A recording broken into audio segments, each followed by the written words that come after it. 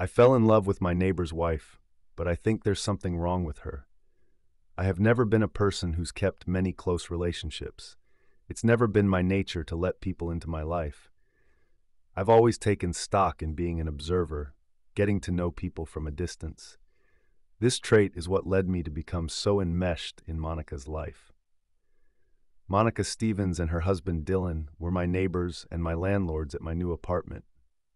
I had just moved to the city from my small town, mostly to find work, but it didn't hurt that there were many more people watching opportunities here than at my previous residence. My apartment was not lavish by any stretch, but it was perfect for me. I lived on the top floor, a view of the rooftop garden from my kitchen, and my bedroom window was directly across from the Stevens kitchen window, as they lived just two doors down. Although I'd tried, I could never get a view of their bedroom, as their thick, blackout curtains were shut tightly at all hours. For the first week after I moved in, I learned the Stevens routine. Each morning, Monica would already be at the kitchen table by the time I woke up at six. She'd sit, her chin propped up against her palm, head buried in her book, and long blonde curls falling in front of her face. It was so cute. When Dylan got up, I could tell she stiffened at his presence. Immediately, he'd begin to berate her. I could see the spittle fly from his mouth as he slammed her book shut, grab his keys, and walk out the door. This was an almost daily occurrence. If he was not screaming in her face, he would sit across from her silently, eat a bowl of cereal, and disappear out the door. When he left, he would not come back again until dinner. I don't know what he would do during the day, but I never cared to find out. He was probably cheating on Monica, that pig. Plus, if I followed him, it would be less time I could spend with my beautiful girl. Hour after hour, Monica would sit at that kitchen table, unmoving. Poor thing was paralyzed with fear. I hadn't known her that long, but I knew I could never let her stay with this asshole. When Dylan got home, he'd walk in and pick her up from her chair and take her to the bedroom. I could hear his insincere apologies, just saying sorry in hopes he'd get laid. They come out an hour later, him placing her back into her wheelchair. I'd watch Monica sit with her back to my window while her doting husband cooked dinner. He cooked in seeming silence, not speaking to her or even acknowledging her presence. It baffled me how that troll could treat a woman of that caliber with such carelessness. Although I could never get a clear view of her face, I could tell she was beautiful, shy, and that he didn't love her like I did. He was so controlling, his wife never left the apartment complex, let alone feel safe enough to even move from the kitchen table during the day. The only time she could come out was Saturday morning. When would I see her on the rooftop garden? I knew she wanted me to save her. After observing their routine for around two weeks at that point, I could pinpoint exactly when I could corner Dylan. The morning I planned to confront him, there was a change in the usual routine. While Dylan was in the middle of his screaming session, he struck the back of Monica's head.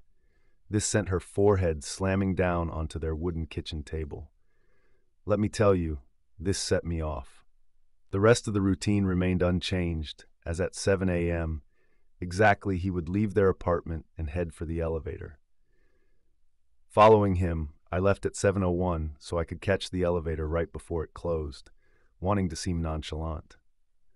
I smiled when I walked into the elevator and introduced myself, stating that I was sorry for not formally introducing myself since moving in. I hadn't interacted with him directly when I had signed the lease, just his property manager. He gave me the side eye, so I confidently stuck out my hand to shake his. He grabbed it finally, his tarnished silver wedding ring cold on my hand, and said, Yeah, I'm the landlord, Dylan. I told him I had noticed his wife's affinity for gardening and asked if she'd like some company next time. I know, a little early to get to talking about Monica, but I couldn't stop thinking about her. I couldn't spend any more time exchanging pleasantries with this asshole either. That's when something strange happened. He turned to me and grabbed my forearm, squeezing so tight that it was painful. He shoved me forcibly against the elevator wall and said, Listen, bitch, I know you've been stalking my wife. She wants you to leave her alone. The elevator door dinged and opened. He let go of my arm and walked straight out without another word, straight through the complex doors to his car and drove off. I stood shocked. What the hell was that? But I had gotten what I came for, and that was all that mattered. That whole leave her alone was such an obvious lie. It confirmed to me that she needed my help. Dylan was becoming more unhinged by the day, and this episode in the elevator was proof. I went straight back up to my apartment, already thinking of what I was going to do on Saturday morning when she got to that garden. It was already Friday evening by the time Dylan got back from his daily escapades. I dreamed of her that night, about finally turning her around, seeing that gorgeous face that was no longer hiding from Dylan, professing my love and running away together. We'd get a cottage so she could garden, but live near the city so we could people watch together. We'd both be free and happy. Saturday morning came, and I woke up early to prepare my things. When Dylan woke up, he went immediately to find Monica in the kitchen. He lit into her first thing. It was too muffled to hear exactly what he was saying, but loud enough that I could hear through their closed window. I could see her distress. She couldn't even lift her head to defend herself. This poor, beaten down woman was counting on me. But it wasn't too much longer now. Dylan forcefully grabbed her wheelchair and wheeled her out of the apartment, heading for the roof. I watched as he dumped her there, screaming a final time, saying, You can just rot out here. I don't even care anymore. Dylan disgusted me. I wished I could rush up there and take her away right then. However, I knew I had to wait for Dylan to depart if I wanted to avoid a confrontation. Half an hour later, I approached the elevator so that I could reach the rooftop garden. As the elevator rose, I took a deep breath. Was I going to do this?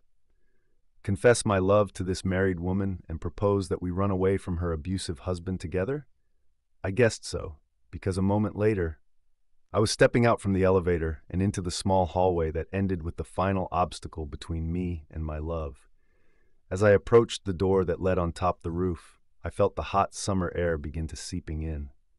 I turned the knob and stepped onto the bright roof. There she was. Monica. That silky blonde hair was instantly recognizable. It had fallen and covered her face slightly so that she couldn't quite see me approach. I walked over slowly as I didn't want to startle her but then my emotions took over. I grabbed her shoulder, spun her around, and closed my eyes right before I professed my love. But I got no response. I mean, nothing. Not a screw you, not an I love you too. Silence. I opened my eyes, expecting to meet the eyes of a beautiful woman. Instead, I gagged. She had no eyes. They were gone. No eyebrows either. They were replaced with thick black stitches that held her eyelids together. Her eyes were completely sewn shut, my eyes traveled down to her nose. She had a maggot hanging out of her right nostril, and it turned to crawl into her left one. She was a repulsing pale color with burst veins littering her skin. Then down to her mouth. It was sewn as well, and her lips were gone, ripped off her face. Her mouth was sewn into a line, no smile, no frown, completely straight and emotionless.